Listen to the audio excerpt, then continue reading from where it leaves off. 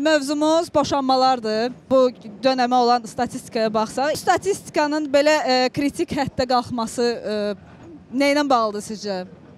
Elə Vüsalə xanımdan başlayaq bir psixoloq fikri. Çox səbəb var. Yəni seansa gələn insanlardan deyə bilərəm ki, səbəb bir deyil, bir çox səbəb var. Amma ən əsası məncə məsuliyyət hissinin yaxşı formalaşmamağıdır.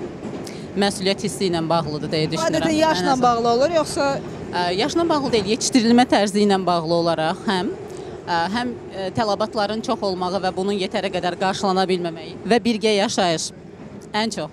Mənə elə gəlir ki, cavanlar bir-birlərini daha yaxşı tanımalıdırlar.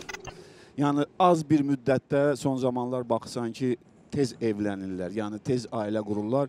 Özlərini yəni tam tanımadan yəni ailə qururlar. Sosial şəbəkələr burada böyük rol oynayır. rol oynayır? Sosial şəbəkələr. bağlayırsınız bunu?